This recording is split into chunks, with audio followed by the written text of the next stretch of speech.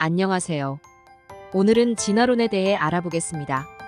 진화론이 과연 있었던 사실을 말해주고 있는 것인지, 아니면 진화론의 증거를 찾아 그럴듯하게 해석하고 있는 것인지, 오늘 내용을 보면 진실을 알 수 있을 것입니다. 자, 시작하겠습니다. 아이러니하게도 다윈의 종의 기원이 발표되기 이전의 수세기 동안 대다수의 과학자들은 그 반대가 사실임을 발견해 왔었다. 즉, 증거들은 창조를 지지한다는 것이었다. 다윈으로 인해 무엇이 바뀌었을까? 증거가 아니다. 오히려 해석이 시작점이 바뀐 것이었다. 즉, 하나님의 말씀인 성경에서 인본주의인 사람의 말로 옮겨진 것이다.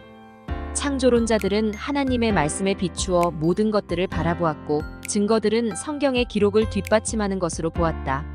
실제로 중립적인 출발점은 없다.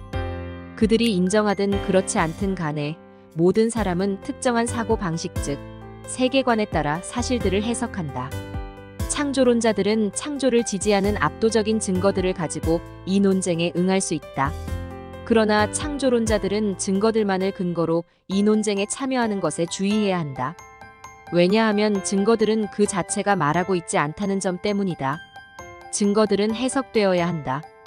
공룡 화석은 말을 할 수 없고 그 연대를 표시해 놓고 있지 않다. 따라서 하나님께서 돌들이 소리 지르게 하시지 않으시면 룩 1940 아무도 그 증거들을 가지고 논쟁을 승리했다고 주장할 수 없다. 창조론 진화론 양측 진영은 자신들의 주장을 지지하는 증거들의 양을 가지고 승리를 말할 수 없다. 양측은 자신들의 세계관에 따라 그 증거들을 해석하기 때문에 논쟁은 그 증거들이 올바르게 해석되고 있는지에 중심을 두어야 한다. 세계관이란 사람이 자신의 전제 신념에 기초하여 세상을 바라보는 방식이며 자신의 행동 방식에 영향을 미친다. 오늘날 중요한 두 가지 세계관은 기독교적인 성경적 세계관과 세속적인 인본주의적 세계관이다. 딕셔너리닷컴은 인본주의를 인간의 이익, 가치, 존엄성을 우선하는 사고 방식 또는 행동 방식으로 정의하고 있다. 세속적 인본주의는 고상한 것 같지만 하나님과 하나님의 말씀을 배제한다.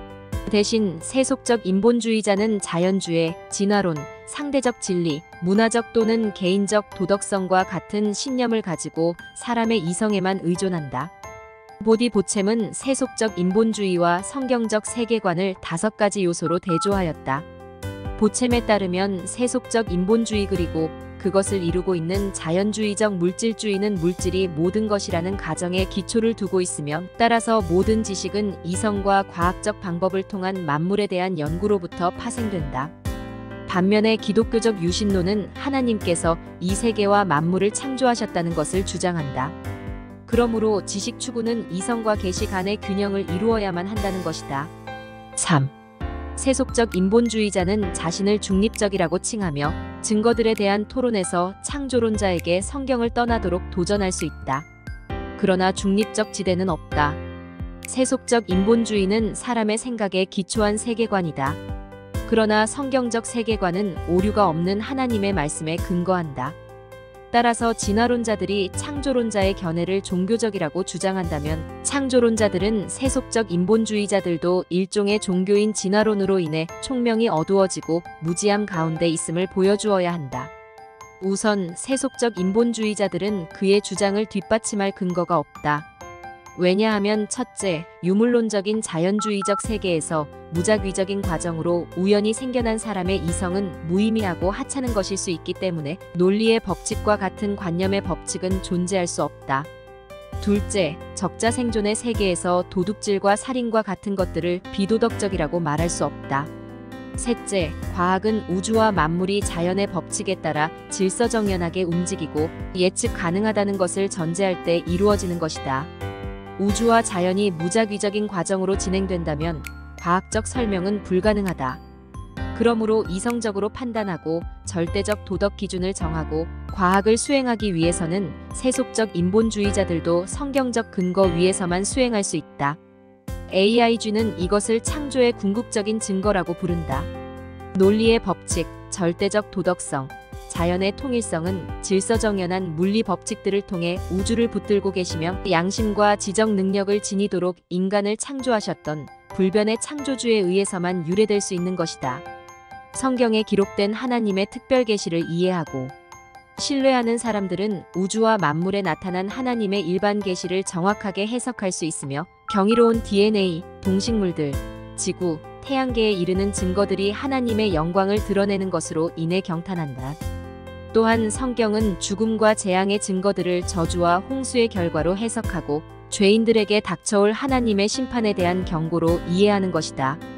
또한 성경은 창조주이시며 구속주이신 예수님께 나아오는 사람들에게 완전한 새, 하늘과 새 땅을 허락하신다는 희망의 메시지를 전해주고 있는 것이다.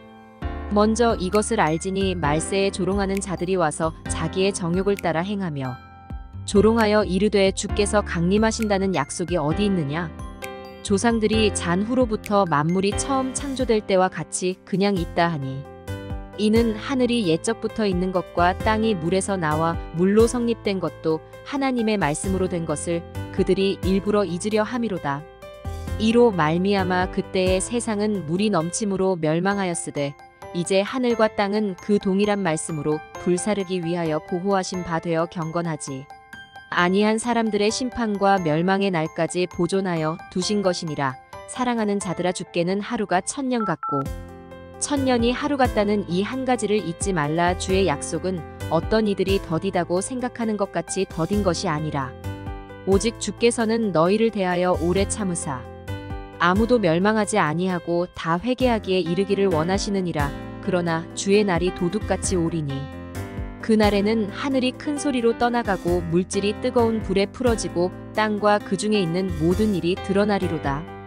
이 모든 것이 이렇게 풀어지리니 너희가 어떠한 사람이 되어야 마땅하냐 거룩한 행실과 경건함으로 하나님의 날이 임하기를 바라보고 간절히 사모하라 그날에 하늘이 불에 타서 풀어지고 물질이 뜨거운 불에 녹아지려니와 우리는 그의 약속대로 의가 있는 곳인 새 하늘과 새 땅을 바라보도다.